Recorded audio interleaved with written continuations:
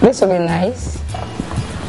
Where you have a guest in the house, you can get this fried. So it can be frozen till required.